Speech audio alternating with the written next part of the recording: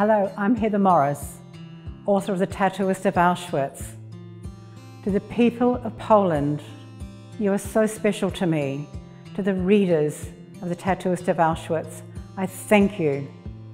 And now I get to introduce you to Cilka, Cilka's journey. I am so sorry I can't be with you at this time when I was expecting to be in your country, talking to you, meeting with you.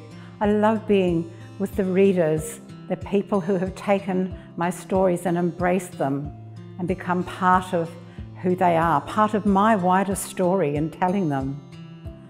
Thank you for your support for the Tattooist of Auschwitz. And now, of course, I'm introducing you to Cilka, Cilka Klein, the young 16-year-old girl taken from her home in Slovakia to Auschwitz in April 1942. In 1945, taken again to a Siberian gulag.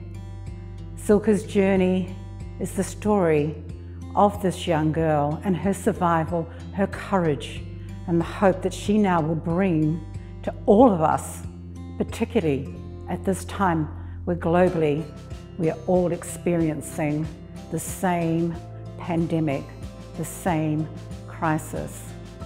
I hope you can embrace Cilka's journey the way you have Lale and Gita's story.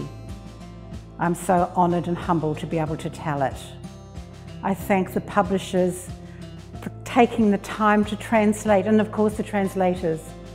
You are the people who make my stories sing in your countries.